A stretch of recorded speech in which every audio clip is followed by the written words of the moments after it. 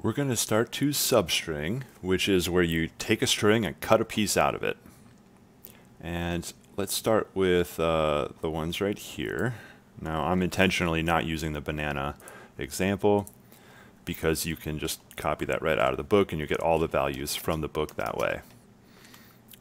Uh, now right here we can make a string if you can spell and then sout s equals plus s. There we go. I don't even like that s equals in there.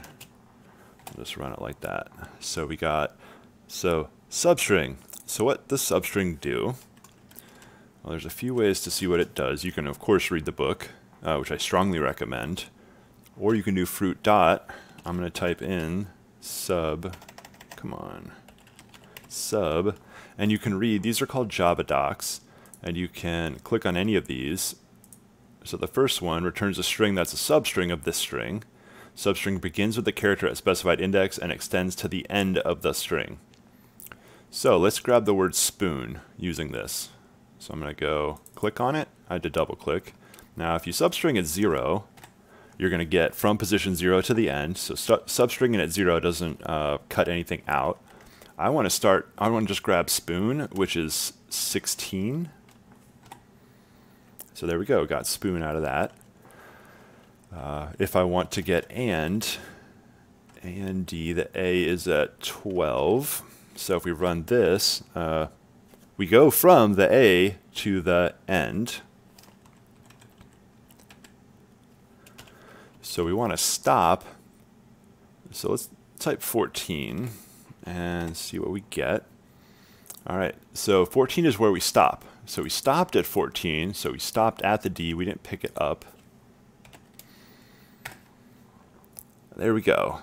So from 12 to 15. Now, if this is tricky to think about, uh, first of all, I agree, it is tricky to think about.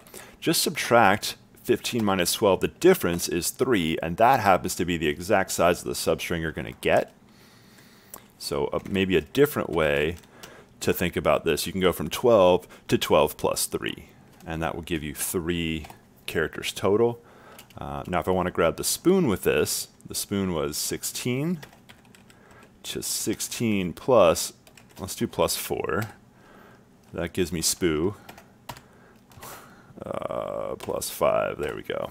That gives me spoon. So sometimes it's actually better to do it like this, where you're like, oh, I'm going to go from 16 to 5 after 16. Give, give me 5 letters, uh, a substring of length 5 with 5 letters.